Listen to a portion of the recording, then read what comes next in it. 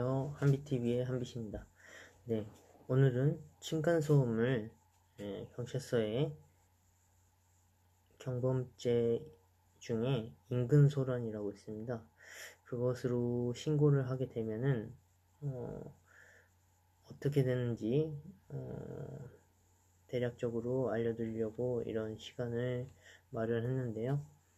네, 경범죄로 어, 인근에서 크게 TV라던가 피아노, 뭐 악기, 뭐 또 고성방가 등을 하면은 음, 그런 죄목으로 신고가 가능하죠.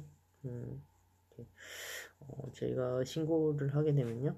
인근 소란의 경우 현장으로 경찰 분들이 출동을 해서 소음 내용을 직접 직접 들으시고요.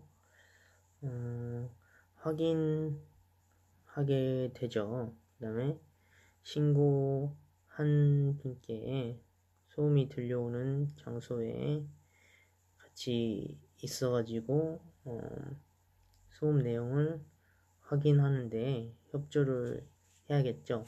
네, 뭐 저희 집이라면 저희 집에서 어, 옆집이라던가 밑집, 윗집에서 나는 소리를 어, 같이 확인하는 겁니다. 그래서 음, 소음행위 관련 내용 확인을 위해 음, 신고한 부분으로 소음이 확인된다면 음, 뭐 거짓으로 신고했다고 해서 처벌될 가능성은 없습니다. 네, 그렇게 되고요. 어, 신고한 사람이 되려 어, 거짓 신고가 될 수도 있으니까 고러한 부분은 말씀드리는 부분이고요. 어, 법 적용은 그 현장에 따라서 음, 일률적으로 적용에는 어떤 부분이 될지는 뭐 아까 어, 소음 대처 방법으로 경범죄 인근 소란으로 처벌이 될지 어떨지는 그 상황마다 조금씩 다르기 때문에 어, 현장 확인이 필요한 거죠. 그렇게 되고요. 그 다음에 경범죄 처벌법상 인근소란 조항의 경우 소음 기준과 상관없이 시간 및 장소에 따라서 일반인이 상식상 소음으로 느낄 수 있는 여지가 충분하다면 처벌이 가능하다고 합니다. 다만 소음행위의 고의성 및 여러 가지 현장에서 현장 경찰관님이 소음을 듣고 판단을 해야 될 부분이 일률적으로 어, 있습니다.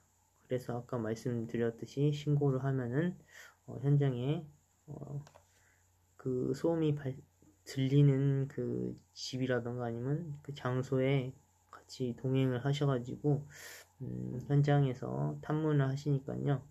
음, 어떤 결과가 나올지는 음, 그 우선은 거짓 신고 같은 것은 하시면 안 되고요.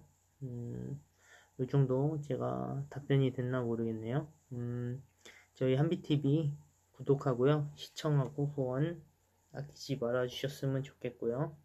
네, 오늘 음, 제가 잘 말씀드렸나 모르겠네요. 감사합니다. 한비TV 구독, 시청 부탁드립니다. 네, 한비TV 후원 부탁드리고요. 네, 네 제가 어, 경범죄 처벌에 대해서 음, 인근 소란에 대해서 말씀드렸는데요. 음, 무엇보다 서로 배려하고 서로 존중하고 또 어, 소란스럽지 않게 음, 좋게 잘 해결되셨으면 네, 좋겠습니다. 네. 소음 관련해서는 음, 예민하신 분들이 많기 때문에 어, 또 조심했으면 좋겠네요.